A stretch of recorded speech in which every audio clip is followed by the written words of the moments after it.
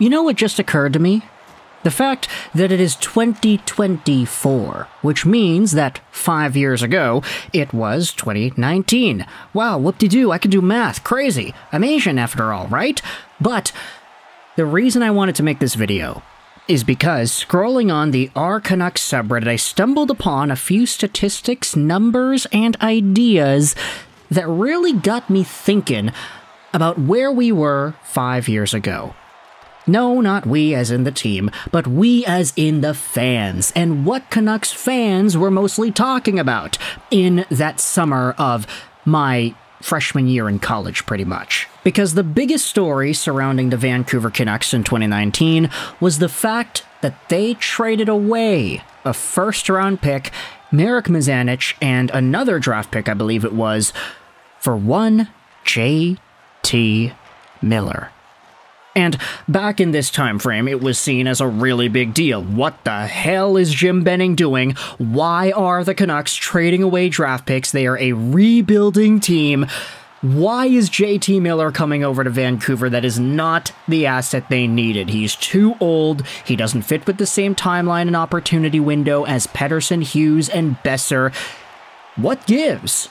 And philosophically, I can totally understand why this trade did not make sense in the eyes of many Canucks fans analyzing where the team was in their rebuild and what the appropriate value of a first round pick in 2020 would have brought. It's just, from the Vancouver Canucks perspective, I'm not saying that this is the right way to look at it, but I'm saying this is the way the Canucks at the time looked at it, especially with Aquilini at the helm and Jim Benning listening to everything Aquaman was trying to pull. The Vancouver Canucks were trying to get competitive quickly, and if it meant sacrificing a draft pick or two that they found valuable, it meant sacrificing that draft pick. They grabbed JT Miller, who at the time was coming off of a few 50, 40 point years here and there.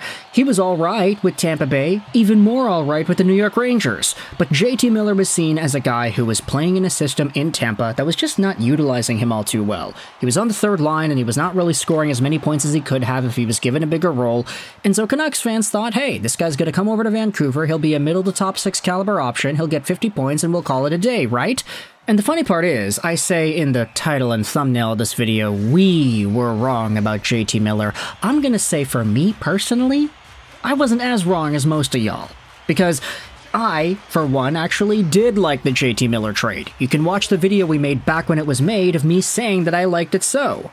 In fact, I made a second video, a day after, addressing the hate for the Vancouver Miller trade because a lot of people in my comment section of the first video and all over different parts of social media were complaining to hell and back. This team should not have made this trade. This player is not a good acquisition. He is not going to help the team in the ways the Canucks want him to. And the best part is, Miller quickly shut everybody up.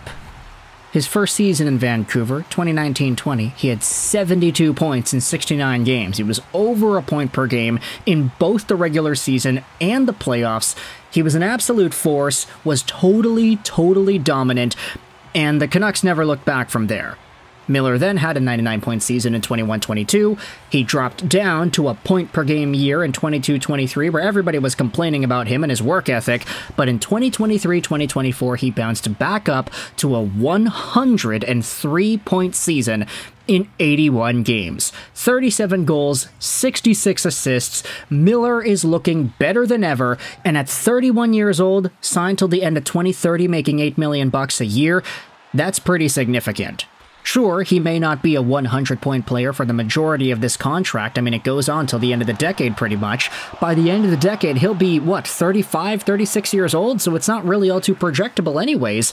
But for right now, what the Vancouver Canucks are trying to do, with what the Vancouver Canucks are trying to accomplish, JT Miller is arguably the best gosh darn contract on the team, and he's for sure the best contract on the forward core. For 8 million bucks, you have an all situations versatile playmaking leadership caliber two-way defensively responsible forward, and he does everything.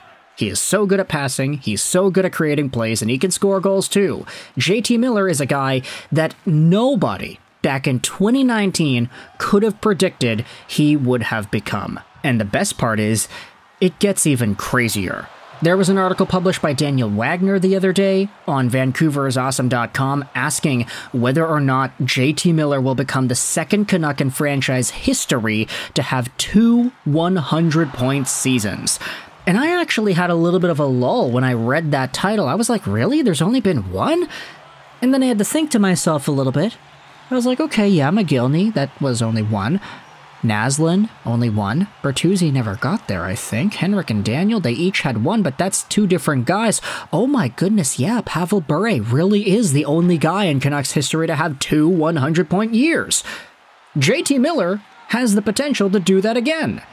Some of the comments go out there and say this JT is a gosh darn animal, and I fully believe he can hit 100 points again. Captain Dingus says, The dude is the most underrated player in the league. Who else scores over 100 points, kills penalties, feasts on the power play, lays devastating hits, and will fight anyone anytime? I hope Canucks fans realize how lucky we are to have this guy on our roster. I think he can for a couple of reasons, Han Solo 5643 says. With new voices in charge of the power play, that could mean more points on the power play, which will help. A healthy Pettersson could help as well. You pair a healthy PD and a power play that should be better, then I don't see JT Miller not reaching 100 points again. Another comment says, absolutely. I mean, he could have already been in that category. He had 99 points two seasons ago. And that, I think, is another thing that people sort of swept under the rug. The fact that Miller's 21 22 saw him be a 99 point player. But the even crazier stat was posted onto the Canucks subreddit by Paper Moonshine. If Pettersson and Miller get at least 77 points this season, they will be the seventh and eighth all time Vancouver Canucks point scorers ever, squarely in between and surrounded by players who are in the Ring of Honor or who have had their jerseys retired. Will both Petey and Miller be at least Ring of Honor worthy by the end of the season to you? And then the screenshot attached is of Miller and Petey. Miller has 402 points, Petey has 412.